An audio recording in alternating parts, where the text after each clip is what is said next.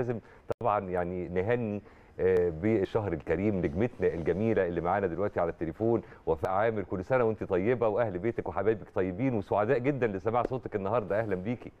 الصديق والأخ العزيز الجميل كريم كوجك وكل حبايبك الموجودين في الاستوديو طبعا.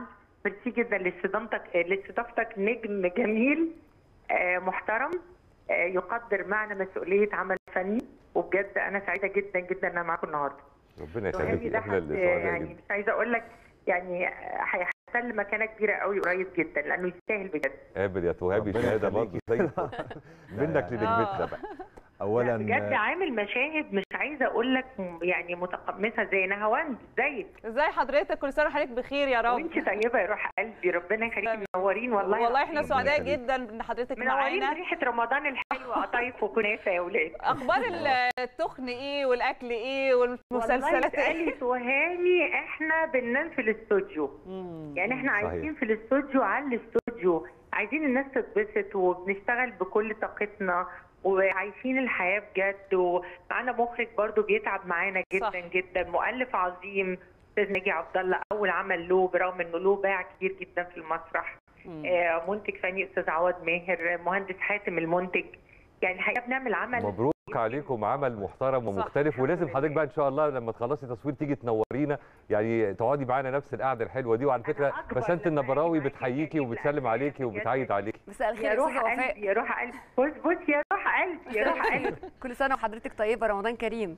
وانت طيبة يا روح قلبي يا بص بص. حبيبتي أستاذة وفاء. والله أنا عايز أقول على حاجة يعني أنا محظوظ بجد والله إن أنا اشتغلت مع نجمة كبيرة. فعلا إنسانة ونجمة عظيمة أستاذة وفاء عامر ومحظوظ جدا بشغلي كمان معاها السنة دي الحمد لله لأني فعلا إنسانة في ال location صحيح، ده- ده بنشتغل. بكل حب وبكل ود ويعني الحالة كمان اللي جوه اللي جوه ال location الواحد يعني بتفرق بتفرق جدا في العمل صحيح، والأداء. صحيح. ما بين ال- ال- ال- ال- النجمة والأبطال أنا محظوظة بكل زملائي السنة دي. أنا اشتغلت يا أولاد. أنا هقول لكم على حاجة. اتفضلي. وهقول يا أولاد لأن أنا جيل سابقكم شوية.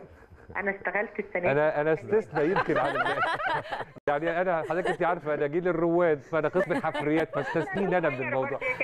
كريم ما تكبرش نفسك أنا اكبر برضو لا. أقول لك على حاجة اتفضلي. أنا محظوظة بكل النجوم اللي أنا وقفت قدامهم السنة دي سواء هم آه، أصغر مني سنا أو أو مثلا أنا سابقاهم شوية بس كلهم على قدر كبير جدا من المسؤولية وكأن ربنا فعلا بيطبطب عليا عشان أبقى مع ناس محترمة بجد بجد يعني أنا اللي عايزة أقوله بصراحة إن آه، إحنا محظوظين لأن كل سنة الكتابات بتبقى أحسن كل سنة أداء الفنانين بتوعنا بيبقوا. أحسن يعني بجد ده ملحوظ بشكل كبير جدا. ربنا يوفقكم. وده في الأول وفي الآخر انعكاس يعني للدراما المصرية. فإحنا نتمنى مزيد من التألق حقيقي. ونتمنى بقى حضرتك تنورينا زي ما كريم قال أنا أنا أنا أتشرف. أنا أتشرف. بس أنا مبسوطة النهارده طبعا طبعا النجوم موجودين معاكم وطبعا وتهاني أنا مؤمنة بيه بشكل ربنا يخليك. غير طبيعي. أنا بحبك يا تهاني. كلنا. والله. والله كلنا بجد. آه فعلا. كلنا. والله. وأنا وبسنت النبراوي كنا بنتكلم والله قبل الحلقة. بتقول لي. متابعة المسلسل وبعشق أستاذة وفاء عامر. طلعوا له مشهد وهو بيعيط على الأم يا حلاوته آه. يعني عايزة تمد إيدك على الشاشة تشيلي الدمعة بايديك يا حبيبتي ربنا والله يخليك العظيم أنا مبسوطة إن أنا بعمل المداخلة دي ومبسوطة بيكم وتابعوا بيت الشدة وتابعوا كل شغلنا ومصر تستحق. فعلا فن يليق باسمها بجد نورتينا وكل سنة وحضرتك طيبة. مرة ثانية كل. سنة وأنت طيبة. ربنا يخليك كل سنة بس.